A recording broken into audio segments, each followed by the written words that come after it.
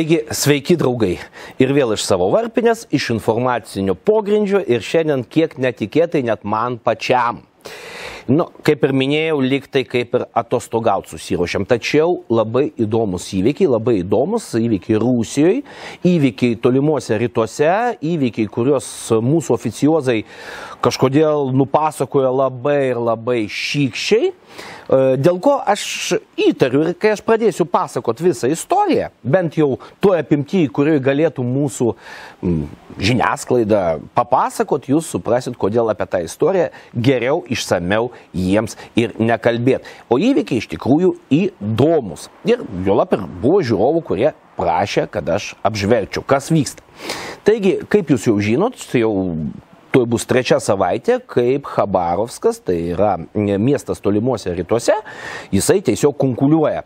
Vyksta protestai kiekvieną dieną, nes buvo suimtas visų mylimas, visų mylimas gubernatorius. Nu, o stebuklė žmonės išėjo dėl savo vadovo. Vat. Dydis protestų, gausa Nu, jeigu Khabarovskas tai yra 600 tūkstančių žmonių, tai yra Vilniaus dydžio miestas, tai per didžiausius protestus išeidavo 55, 60, o gal net ir daugiau tūkstančių žmonių be jokių organizatorių. O šiaip protestai vyksta kiekvieną dieną e, ir partiniai, o partinės opozicijos protestai, ir pilietiniai protestai. Ir protestai, jeigu pirmomis dienomis, tai yra Liepos 9 buvo suimtas, o Liepos 10 išėjo pirmomis dienomis, reikalavo tik tai, kad būtų jisai, mes išrinkom ir mes norim matyti teismą savo krašte mieste atvirą teismą, e, tai jau kokią trečią, ketvirtą dieną jau pradėti skanduoti šūkiai Putinas lauk, kas Rusijoje jau labai labai labai seniai bebuvo. Taigi vis dėlto pradėsiu nuo istorijos pačios. E, pats gubernatorius, tai yra Sergejus Furgalas, šiaip niekuom iki savo gubernatoriavimo nepasižymėjęs politikas. Gimė 1970 metais, daugiavaikiai šeimoje, tarp kitko dešimt vaikų šeimoje buvo. E, gimė Khabarovsko krašte, tai yra jisai visiškai vietinis, visiškai žmogus, puikiai žinantis vietos problematiką. Tapo gydytoju, pradėjo dirbti kaimo ligoninėje kelis metus irgi dirbo paprastoji kaimo ligoninėje, paprastų gydytojų be abejo irgi padėti dėl to puikiai žino. 99 metais, tai yra 1900 be abejo 99, jis e, pradėjo verslauti Pradėjo prekiauti metalais, pradėjo prekiauti medieną, nu tai Kinija šalia, nieko nuostabaus, galbūt dar kažkuom prekiavo.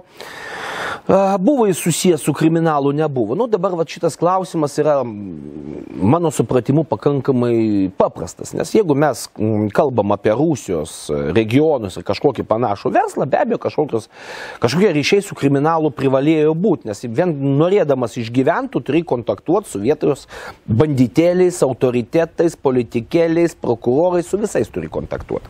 Ir nėra ko stebėtis. Mes Lietuvoje turim kelis rajonus, kur sėdi karaliukai metų metus, kurie apsistatė savo ten padėjėjais visuose struktūrose, tame tarpe ir tarp bandytų. Ir nieko gyvena. O Rusijoje mastai kiti be abejo, atstumai nuo centro kiti, todėl ten viskas galbūt daug žiauriau atrodo. Tačiau e, įvykiai, dėl kurių jisai suimtas, tai buvo 2004-2005 metais, žuvo, buvo nužudyti, e, jo kažkokie verslo partneriai buvo nužudyti ir dabar bandoma, nežinau, prikerkti ar apkaltinti, aš jau dabar čia klausimas, ar jis kaltas, ar jis ne, e, apkaltinti organizavus žmogžudystę. Tai yra 2004-2005 metai. Pasikartosiu.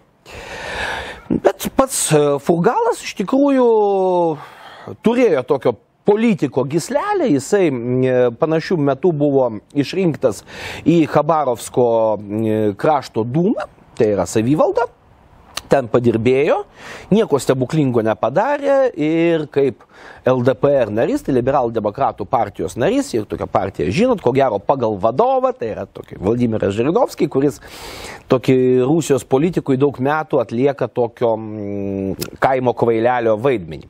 Tiesa, kaimo kvailelių būtų visai neblogai, nes, kaip žinia, šitą funkciją numatot, šitas, šitą pareigybę kaimo kvailelio, numato galimybę kalbėti daug maž laisvai. Tai va. Taigi nukeliavo mūsų furgalas, ne mūsų, o Habarovsko furgalas, nukeliavo į Dūmą 2007 metais. Va, ir ten buvo 11 metų. Absoliučiai nieko nepasižymėjo. Ir e, Rusijos piliečiam, rinkėjam, net jis būtų nelabai ir pažįstamas. Bet nutiko toks dalykas, nu, nu, fotografai pagavo salėje, o šitą va, nuotrauką padarė, nuostabią nuotrauką. Aišku, jis tapo patyčių objektų, memų patyčių objektų tapo. Viena iš antraščių tokia buvo, ar tu galėtai taip padaryti, gaudamas algą ten 420 tūkstančių rublių. Nu, į mėnesį jie ten gauna tiek. Vat, ir nieko, kaip minėjau, gero jisai nesiūlė, jokių, aš vat, peržvelgiau specialiai net ir Rusijos dūmos puslapį, peržvelgiau jokių kažkokių siūlymų revoliucingų, net jokių nebuvo. 11 metų žmogus um, mimpamino, pasakykim taip. Tačiau 2018 metais vyko gubernatoriaus rinkimai. Nu, jis bandė dar 2013 kandidatuoti, nesėkmingai visiškai, ten su trenksmais pralaimėjo gubernatorių. Gubernatorius beje buvo Vičeslavas Športas, tai yra aišku vieningos Rusijos, kas, nu, kas galėtų, sakykime, galvot, kad kas kitas ten galėtų sėdėti. Jis pralaimėjo su trenksmais, 2018 metais jis atėjo į rinkimus, be abejo, kaip priklauso visi vadinami nesisteminiai kandidatai buvo išvalyti dar iki rinkimų ir dalyvavo ten vieningoje Rusija, vat, nuo liberalų demokratų mūsų herojus Furgalas, berots komunistai, dar kažkas. Ir va čia įvyko stebuklas. Pirmame ture, nepaisant visų didžiųjų pastangų, gubernatorius tuometinis, tai yra tas športas vieningosios Rusijos, nesurinko 50 plus 1 balsą. O antruoju numeriu buvo, ėjo Furgalas, kuris ten 30 procentų kažką tai turėjo. Buvo paskelbtas antras turas. Nu, buvo aišku bandymų, kad jis atsisakytų galbūt kandidatuoti. Pats Furgalas sakė, kad jis, jeigu pralaimi rinkimuose, jis puikiai sutinka dirbti sporto komandoje. Jokių problemų, dirbsiu.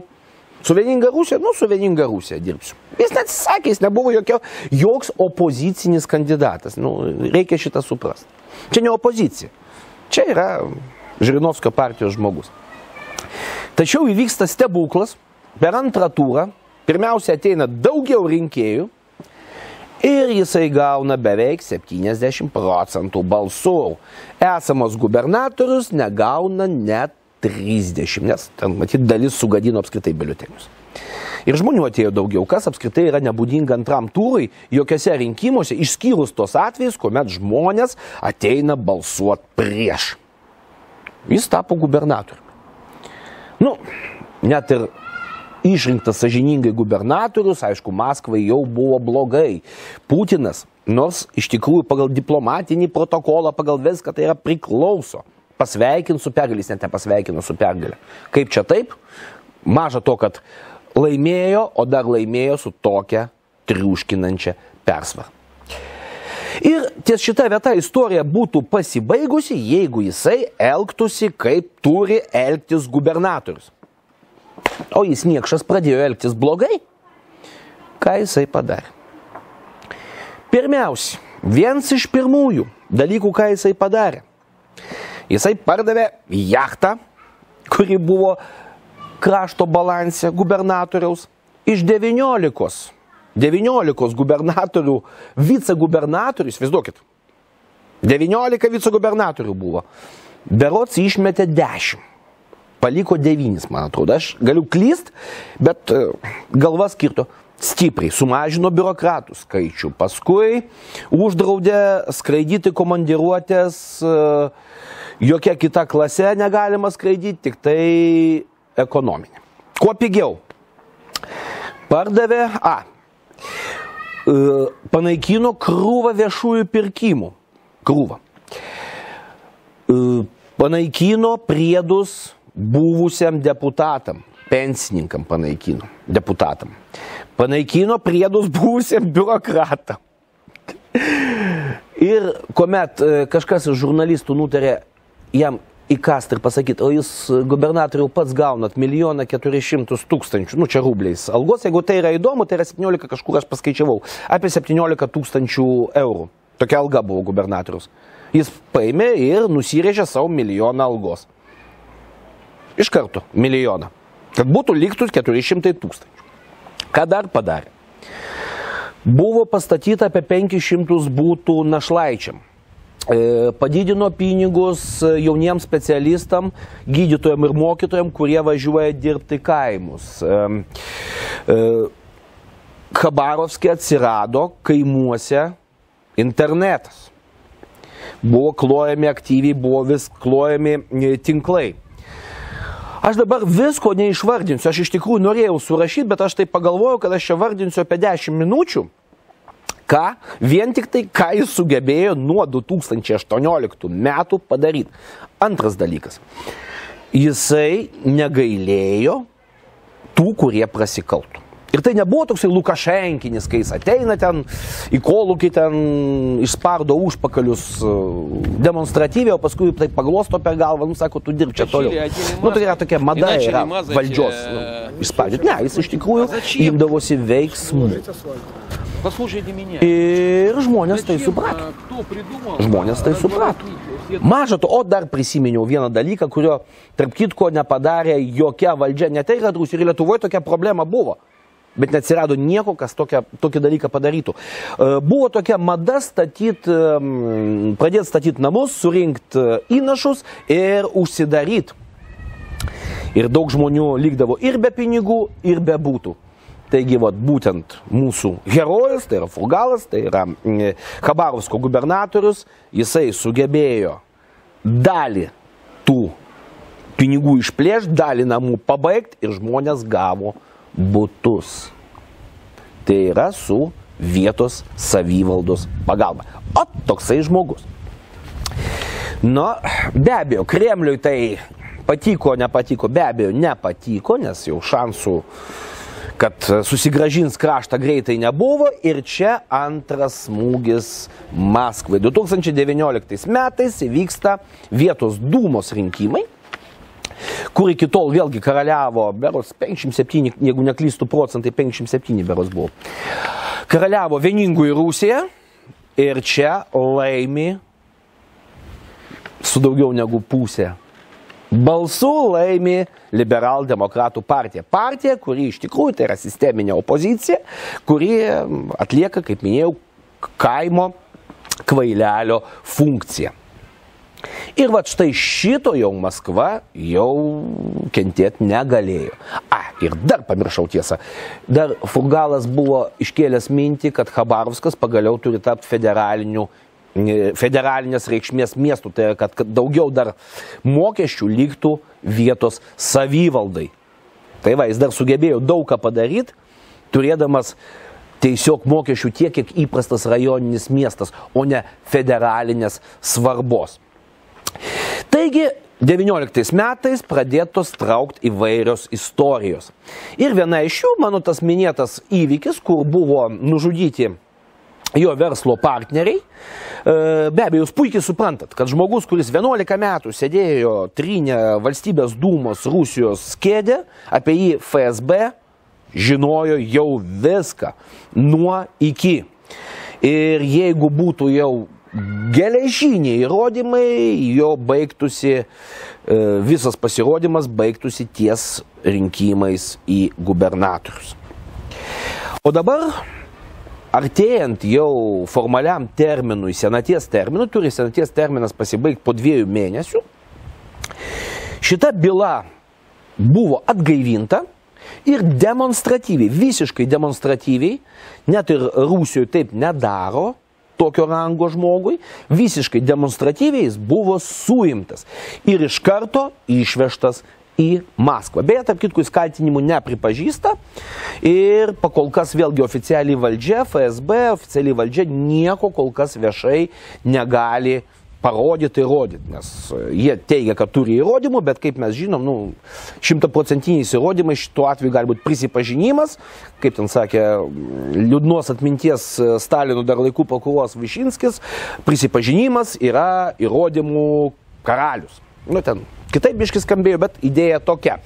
Nu, arba tiesiog jau kažkokia vaizdinė medžiaga. Ne, nieko nėra, nieko nėra, jis neprisipažįsta ir jau Liepos 10 dieną 600 tūkstančių Habarovskas išeina į gatves, nu aišku, ne visi, o išeina 50 su virš tūkstančių žmonių. Ir išeina pirmiausiai su šūkiu, tai jeigu jis kaltas, teiskit, bet teiskit atvirai ir srityje mūsų. Mes norim matyti. Plakatai buvo, mes jį išrinkom, mes jį ir nuimsim. Ir vat. Be abejo, Nu, nieks nesijėmė, tiesa, nieks nesijėmė priemonių, malšinti nieks nesijėmė, 50 nu, tūkstančių, įsivaizduokit, pavyzdžiui, sakau, Vilniui, va, 50 tūkstančių išeitų, tai čia jau nieks nesijimtų malšinti, bet matyt buvo nutarta, kad, nu gerai, dieną, dvi patrukšmaus, paskui ką nors sugalvos. Ir antrą dieną žmonės išeina, trečią, tai yra kiekvieną mitingą po kelis arba po kelias dešimt tūkstančių žmonių. Ir tuomet jau pasigirdo kitokie šūkiai. Maskva mums ne valdžia, Putina lauk, Putinas vagis ir jau šūkiai prieš Putiną Rusijoje, masiniai, masiniai demonstracijų, iš tikrųjų tai jau yra labai senas, retas ir labai senai vykęs dalykas. Masiniai tai labai seniai vykęs, jeigu mes paimsim, tarkim, tokius pilietinius spontaniškus protestus Jekaterinburgė, tai tenais nieks nerėkdavo Putiną lauk. O čia jau gana rimtai. Ne tai, kad valdžia labai susirūpino, tačiau buvo tas bandymas iš karto pasielgti kaip įprasta, tai yra iš Šiaurės Kaukazo, a, pamiršau pri, pri, pasakyti, kad vietos policija niekaip nereagavo, niekaip nemalšino, niekaip policija netrūkdė, nieko nesuiminėjo. O patys protestuotojai elgėsi irgi pavyzdingai, taikiai. Taigi, centras, aišku, pasielgė pagal save. Jie iš Šiaurės Kaukazo, nu, aš suprantu, kad Šiaurės Kaukazą pirmiausia, suprantu, Dagestanas ten tešinė, e, atsiuntė Rosgvardijos dalinius, Rosgvardija tai čia buvę, e, buvusi vidaus kariuomenė, atsiuntė Rosgvardijos dalinius. Vat. Tačiau kiek šaltiniai, kurie nu, pakankamai patikimi rašo, kad su vietos policijos atstovais buvo susitikę tie atvykę, vadai ir jiems buvo išaiškinta, jeigu jūs pradėsit šaudyti žmonės, tai policija gali atsidurti protestuotojų pusėje. Ir ties šita vieta nieko blogo neįvyko, nors buvo, aišku, tokių baimių. E, buvo tiesa įvesta kariuomenė pagazdinti. Nu, mes irgi, pavyzdžiui, iš e, savo praeities mes žinom tokį būdą, kad e, pasivažinėję su šarvuočiais, pasivažinėję su tankais, kas matėt, prisimat, čia buvo 90-ieji metai, čia buvo kovo mėnuo. Po nepriklausomybės paskelbimo, kas jau nematėt tų įvykių ar gimėt po to, nu pažiūrėkit, yra labai daug vaizdo medžiagos, kaip važinėja su tankais ir gazdina žmonės.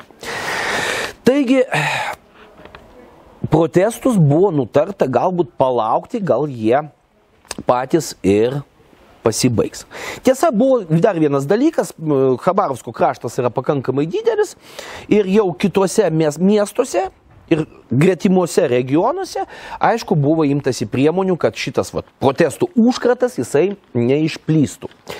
E, Sachalinė buvo žmonės su, sulaikomi, o pavyzdžiui, žydų autonominiai srity, tai yra Birabidžano mieste, tai buvo pakankamai šiukščiai, pakankamai žiauriai žmonės išvaikyti. Tačiau pačio Habarovsko nieks nelėtė. Taigi, savaitę, dvi, tris protestų Ir Kremlius pagaliau nutarė nu kažką tai padaryti. Ir 20 dieną, Liepos 20 dieną, Putinas atleidžia Furgalą. Furgalas jau sėdi Maskvoje, bet formaliai Putinas atleidžia Furgalą kaip um, netekusi pasitikėjimo. Dabar, tarp kitko, pagal naują, būtent pagal naują Rusijos konstituciją, apie tos, tas pataisas ašgi kalbėjau ne per seniausiai, tai tą jis padaryti gali. Anksčiau tai būtų padaryti sunkiau, dabar jisai gali kaip nori elgtis ir atsiuntė Aš norėjau iš karto apibūdinti tą žmogų. Tačiau vaizdo įrašas, vat, toks va apibūdins. У меня есть 5 долларов, они висят на холодильнике. Когда висели только 5 долларов в холодильнике, я так образно приманиваю еду. Было очень много продуктов с нитратами, генно-модифицированных. Как только я повесил 500 рублей с православными крестами Соловецкого монастыря, вы знаете, у нас и продукты с женой и детьми стали намного качественнее в холодильнике. Ну что ж, спасибо, Михаил. Сегодня в гостях у программы «25 час» депутат Государственной Думы Михаил Дегтярев. Он объяснил нам, почему нам доллар не нужен. Žmogų, kuris e, kalbėjo kalbą ir kalbėjo taip, kaip reikia kalbėti. Tiesa, jis irgi iš Žirinovskio partijos. Daugiausiai jis žinomas mm, savo, beje, jis daug jis Dūmos deputatas, tai ir aš, aš kalbu apie Dekteriovą, kuris žinomas tokiais pakankamai įdomiais siūlymais, kaip pavyzdžiui, sugražinti Rusijos himnų himną e, imperinį, ten tą Božė carę hrany, vėliavą sugražinti, ką jis ten dar siūlė, uždraus dolerius, uždraus dolerius, vat, e, Rusijoje. Ir daug, daug, daug įdomių e, dalykų. O publikai viešais geriausiai žinomas iš partijos posėdžio pirtyje, kur partijos berniukai Vat, gandų, tarp kitko, visokių sklinda apie Žirinovskį, mm, maudosi su savo partijos vadu. Tiesa, jis dar e, žinomas tom Dekteriovas, kad jis parašė knygą apie Žirinovskį.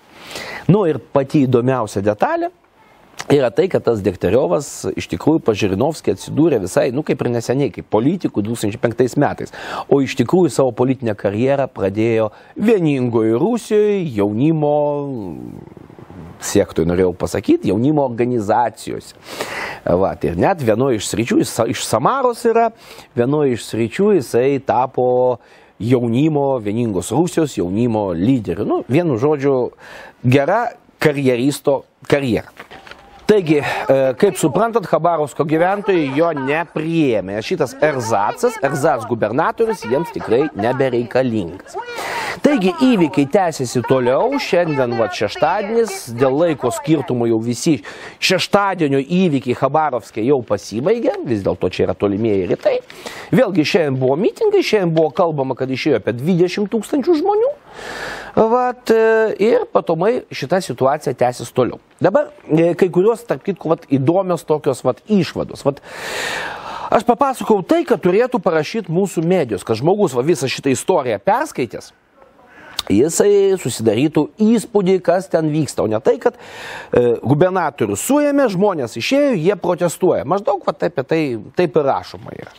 Bet jeigu mūsų medijos papasakotų va, tokią gubernatoriaus istoriją, tai tiesą sakant, daug žmonių pagalvotų, kokie mūsų yra kai kurie merai. O sakykit, o aš, vat, pavyzdžiui, Vilnietis esu, jūs ten galbūt iš kitų miestų. O sakykit, e, jeigu suimtų jūsų rajono ar miesto merą, ar jūs eitumėt į gatvę protestuoti? Aš tai kaip Vilnietis pasakyčiau taip. Nu, jeigu to fulgalo, aš nežinau, kokios jo politinės pažiūros, tiesą sakant. Aš specialiai žiūrėjau, kokios jo politinės pažiūros in general. Taip ir neradau. Nu, politikas ir politikas. Bet sakau, jeigu Rusijai tokio žmogaus nereikia, tai aš kaip Vinėtis pasakyčiau, kad aš e, labai būčiau laimingas, galima sakyti, kad jis atsidurtų vietoje mūsų šimašiaus. Vat. Ir aš čia, tarp kitko, beveik rimtai. Tai va, Antras dalykas, kuris vat, irgi e, man irgi suprantamas, dėl ko apie šitos įvykius nekalba, nes čia yra žmogus, kuris e, nepriklauso tai e, Rusijos šampaninė opozicija kurios visi veiksmai yra absoliučiai visą laiką nušvečiami. Ten piketas trijų žmonių su, nežinau, vaivarykštiniam vėliavom Maskvoje, mūsų fact-checkeriai, fact-checkeriai visą laiką jį nušvies. Arba kokios nors atviros Rusijos forumą. Jeigu žinote, yra tokia atviros Rusijos, yra toksai forumas, kartais Vilnius susirenka, pragert e, Khodorkovskio ir kitų rėmėjų pinigus, susirenka Vilniui. Tai va, tai apie juos būtų, jeigu čia būtų koks nors žmogus iš tos va publikos. Tai va, tai matyt, nušvies. Nu ir aišku, vėlgi jau prieš pabaigą, ką turiu tikrai pasakyti, kad e, jau dabartinis, jau toksai laikinai einantis Khabarovsko gubernatoriaus pareigas, aišku, pareiškė, kad visas tas neramumus organizavo Ukraina ir vakarų agentai, kurie liko Rusijoje dėl koronaviruso, tai jie vat iš Maskvos persikėlė į šitą, į tolimuosius rytus. Tai va, logika vat irgi labai įdomi, logika įdomi, bet jeigu būtų iš tikrųjų kas nors iš Navalno, ten dar kitų, nežinau, iš užsienio, Khadarkovskis pavadovautų, tai be abejo mūsų medijos šitą būtų nušvietę. Gerai, tai va aš tiek papasakojau apie įvykius šitos, nes iš tikrųjų buvo norinčių apie juos išgirst, stebėkit, žiūrėkit, kaip jie vystysis, aš irgi stebėsiu. Nu ir ką, susitiksime kitą kartą, o jūs tada dalinkitės, rašykit klausimus, yra Patreonas, jeigu galit, paremkit. Taigi iki.